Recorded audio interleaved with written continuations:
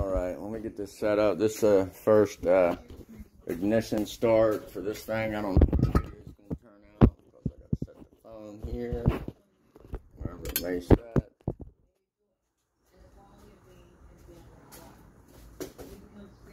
Hmm, I got to plug in the power to the injectors and the coils. Now we'll start. Because I cranked it around several times to get the oil pumped up. However, it had no ignition. Let's see if she starts.